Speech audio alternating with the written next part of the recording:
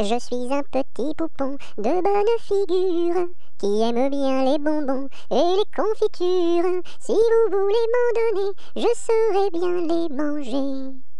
La bonne aventure au guet, la bonne aventure.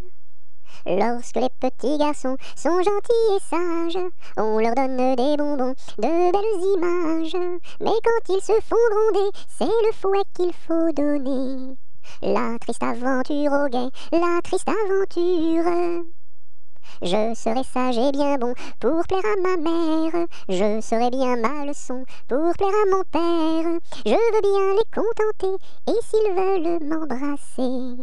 La bonne aventure au guet, la bonne aventure.